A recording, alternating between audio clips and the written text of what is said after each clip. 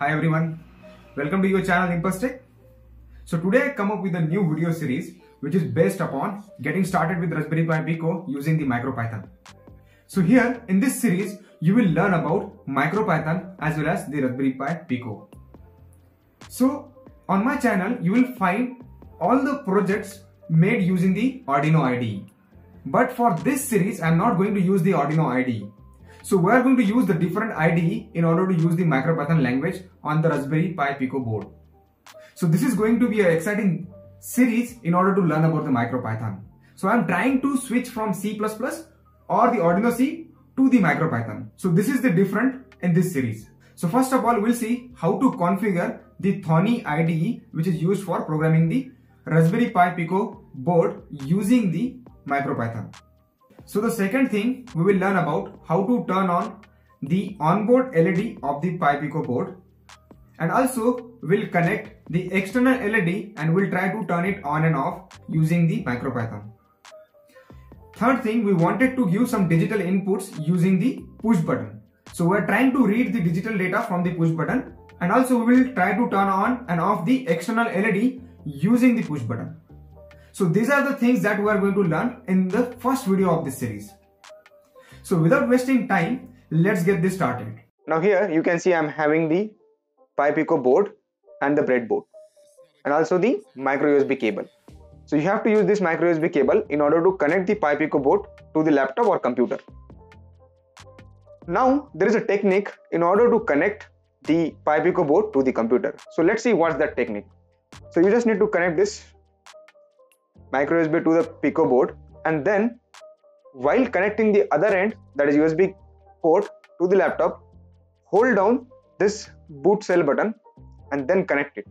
So here you can see once you connect this board while holding the BOOTSEL button then you will see this window will pop up. So if you go to this PC and you will see your Raspberry Pi Pico board appear as a mass storage device. So if you go inside this Raspberry Pi Pico board mass storage device, then you will find there is a two files. So if you clicked on this file, which is like info underscore uf2, then it will show you the version of bootloader and the board that you are using. So now there is one more file which is like, so after clicking on that HTML document, you will see you will redirect it to the Raspberry Pi Pico's official website. So here you will find all the technical details and all the documentation related to the board that you are using.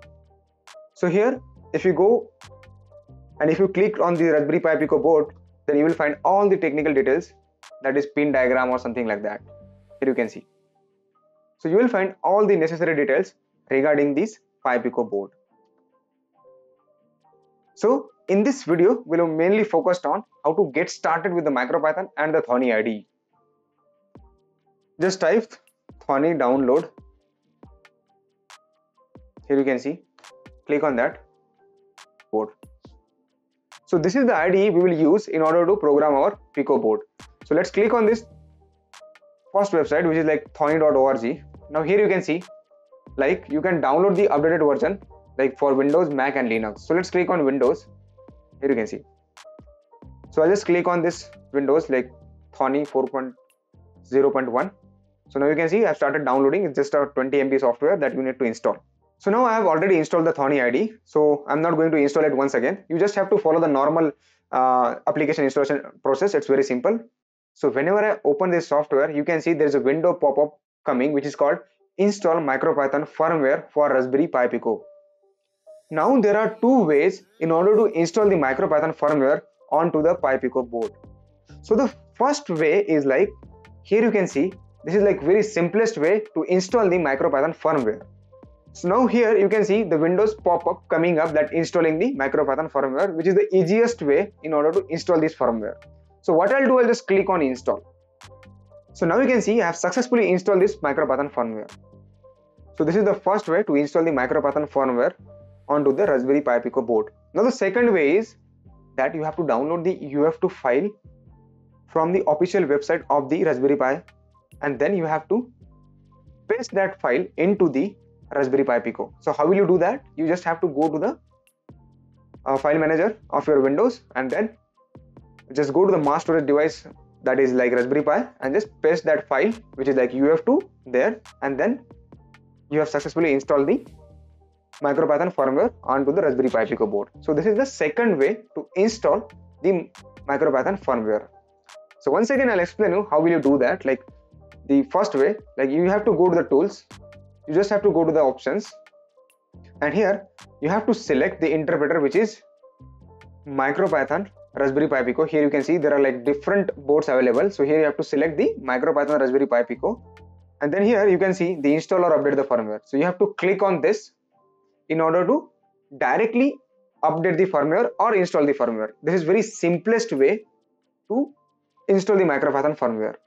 So this is the basic user interface of the Thonny IDE. Here you can see. Also, you can change this user interface like the few basic things you can change. Like if you go to the tools and if you go to the options, then you can change this look and feel of this entire IDE. You just go to the theme and just select the theme that you want so here I'll select the dark and also you can select the UI theme so I'll select here clean dark so now you can see you can change the look and feel of the Thonny IDE so I'll just click on OK if you wanted to change like uh, the fonts and everything you can change that as well so I won't like touch to that so I'll just click on OK now you can see so this is the shell where you will see all the commands or all the data coming from the Pi Pico board so now it says device is busy. So what I'll do, I'll just click on stop. Now you can see the device is started. So here we are using the MicroPython. So we'll write the first line of code. So what I'll do, I'll just write here print and I'll just write here. I'll just write here. Hello makers like this and I'll just click on this is the run so what i'll do i'll just i can check the real-time feedback from the raspberry pi pico board so i'll just click on run and here you will see there are two options. So where you wanted to save this file. So what i'll do i'll just click on raspberry pi pico. So i'll save this file on the raspberry pi pico. Now here comes the trick that you have to save all the files with the extension called .py. So what i'll do i'll just write the i'll just give the name like demo uh, any random name like demo underscore 123 and the extension we have to give like dot py and I'll just click on OK. Now you can see. So your Raspberry Pi Pico board responded. Here you can see. It successfully responded. Hello makers. Now let's get started with blinking the onboard LED so now we'll start. So now let's see the coding which is like very important part of this project. So I'll write from machine import pin. Here I'm not importing the entire machine module. Here I'm just importing the pins from the machine. And here you have to use the capital P.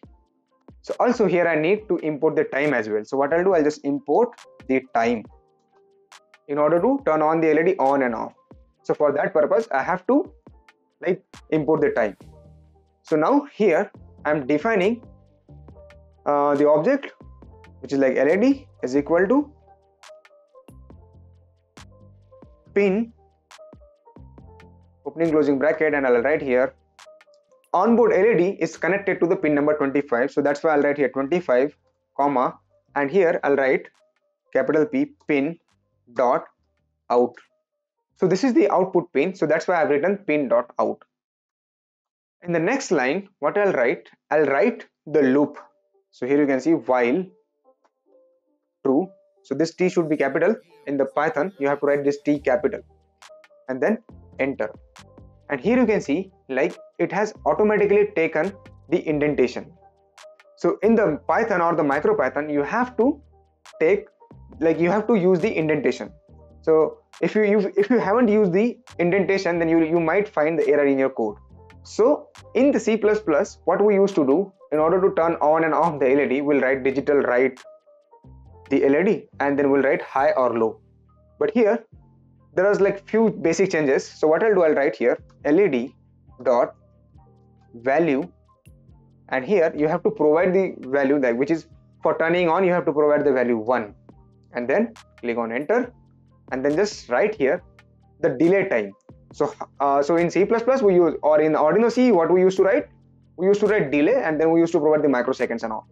So here also we need to provide the delay but the different way. So what i'll do i have imported the time module. So that's why here i'll use time dot sleep. And then i'll write here 0.5 or whatever the time you want. So I have turned on LED for 0.5 seconds and then I'll just turn it off. LED dot value. For turning off I'll use the zero value. And once again here I'll use time dot sleep with the delay time I'll write here. This is the basic structure of the MicroPython coding. Here you can see I have used. So now let's see whether this code will work or not. And there are few basic things i need to address you like why i use time. Like there are few uh, videos available on the internet. They are using utime. So why i've used the time here? So i will explain you each and every minute detail of the micropython coding. So i'll just click on run now you can see my code is successfully running so now you can see in the video as well so now you can see in the video as well the led is turning on and off for like 0.5 seconds. Here you can see the LED is turning on and off. This is the onboard LED is turning on and off. So this is how like we need to write the program in the MicroPython. So the next part of this project is we will connect the external LED and we'll and we'll try to turn it on and off. So here I am going to use the GPIO 15. So let's see how to connect the LED. You just have to connect the positive end of the LED to the 15 GPIO and the negative is the ground any ground pin of the Pi Pico board. So I'll just connect the ground pin to the ground and it's very simple. Now let's change the pin number and let's see that we are successfully able to turn on and off the external LED. So what I'll do, I'll just change its number to 15. It's very simple. So let's just click on the run button and let's just see now. So now you can see the external LED is also flashing after every half a second. You can see so the external LED is flashing with every half second. This is very simple line of code that you need to write in MicroPython. So now we will use the push button in order to turn on and off the LED using the push button. So here we are going to read the digital input from the push button. So let's see how we are going to read the digital data from the push button. Now let's connect the push button and then I'll connect the diagonal end of the push button and the another diagonal end of the push button is connected to the GPIO 14 GPIO 14 of the Pi Pico board. Okay, so how to read the data from the push button? Let's see how to do the coding for the same. Machine import. This P should be capital. If this P is not capital, then you will find the error in your code. So now I'll directly define the button or the object here you can see button is equal to pin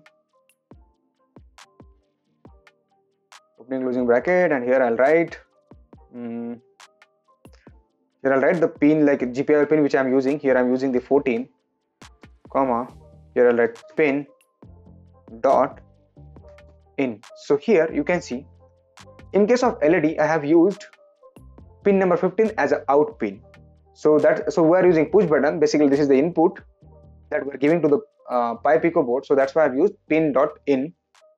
And once again here you have to use the pull down register the internal pull down register of the Pi Pico board. So if you don't know about the pull down and pull up registers do let me know inside the comment box. So I will explain you about the what is pull down and what is pull up registers. So here I'll write pull underscore. So here we need to write pin dot and this pull underscore down. Now here you can see the so if you wanted to give the comment so you can write hash. You can start. So here I'll write hash. Reading the button state. So I'll write here print. So inside the print. I, what I'll do I'll write button dot value opening closing bracket. So this is what I'll do in order to read the data of the push button. So I'll just click on run. And here you need to save this file. So I'll save this file as a Raspberry Pi Pico. And I'll write here the name test 123 dot py as I mentioned earlier. Let's click on OK so here you can see the value of the push button. So this is how we can able to read the data given by the push button. So this is the digital data that is given by the push button. So now we're going to turn on and off the LED, external LED using the push button. So let's make the new file once again. And here let's do the programming same way that we have done like uh, here I'll write from machine import. So what I'll do I'll just import the time. Here I'm using the LED to the GPIO pin 15 so what I'll do I'll write here LED is equal to pin opening closing bracket. And inside it I'll write the pin number which is like GPIO 15 comma pin dot OUT so basically this is the LED pin. So that's why it's output pin and the another pin which is which I'll write here which is for push button. So I'll write here button is equal to pin 14 comma here we need to write pin uh, dot so pin dot in we need to write pin dot pull underscore down and close the bracket. And now here we need to write the loop which is like while true now here you need to use the conditional statement. So here i'll write if button dot value is equal to is equal to 1 if button value is equal to 1 then we need to turn on the led okay? So we'll turn on the led so here i'll write for turning on the led i'll write led dot value as i've explained you at the start of the project like in order to turn on the led what we need to write led dot value we need to provide the value which is like for turning on like 1 you need to give the delay so i'll write time dot sleep with the delay of uh, 1 second or like 0.5 second. And the next line i'll write the another if block for turning off. So here i'll write button dot value is equal to is equal to 0 and here i'll provide the value which is 0 in order to turn off the led and also i'll provide the delay time which is like time dot sleep now we'll see the file is running and let's test the output of the project. So now you can see on the screen the LED is turning on and off the based upon the push button inputs. So this is how simply we can write the MicroPython code inside the Thonny and we can control the different GPIO pins of the Raspberry Pi Pico board. So I hope you found this video helpful in order to getting started with MicroPython using the Raspberry Pi Pico board and the Thonny IDE. So see you in the next video of the MicroPython series. Thanks for watching.